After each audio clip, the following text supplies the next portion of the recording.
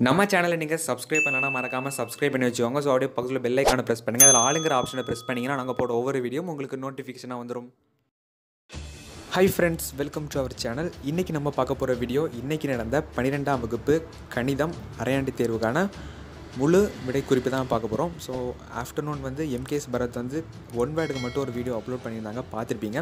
இது வந்து அதோடைய ஃபுல் ஆன்சருக்கு தான். இங்கிலீஷ் மீடியம் ஸ்டூடெண்ட்ஸ் கொஞ்சம் வெயிட் பண்ணிக்கோங்க. ஸோ அது வந்து ஸ்ரீகிருஷ்ண அகாடமி வந்து நம்மளை ரெடி பண்ணி தந்துருவாங்க. கரெக்டாக ஒரு செவன் தேர்ட்டி அந்த டைமுக்குள்ளே அப்லோட் பண்ணிடுவேன். ஒருவேளை நோட்டிஃபிகேஷன் வரலாம்னு கூட நீங்கள் வந்து ப்ளே ப்ளேலிஸ்ட் நீங்கள் செக் பண்ணி பார்த்துக்கோங்க.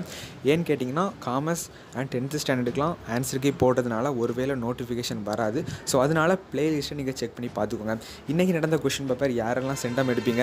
அப்படிலாம் எடுப்பீங்கன்னா கீழே மறக்காமல் கமெண்ட் பண்ணுங்கள் இன்றைக்கி நடந்த கொஷின் பேப்பரில் ஒரு சின்ன ஒரு இன்ட்ரொடக்ஷன் நான் அதை சொன்னால் நீங்கள் ஷாக் ஆகிடுவீங்க ஸோ என்னதுன்னு கேட்டிங்கன்னா பதினாறு ஒன் வேர்டு வந்து நம்ம புதிய புக்கிலேருந்து எடுத்திருக்காங்க.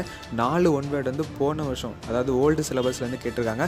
ஸோ அப்போ இதுலேருந்து என்ன தெரியுதுன்னா நீங்கள் வந்து ஓல்டு சிலபஸ் அதாவது போன வருஷம் நடந்த அந்த டுவெல்த்து ஸ்டாண்டர்ட் அந்த புக்கை வந்து பார்த்தீங்கன்னா உங்களுக்கு வந்து சென்டம் எடுக்கிறவங்க அந்த மாதிரி பார்த்துக்கலாம்.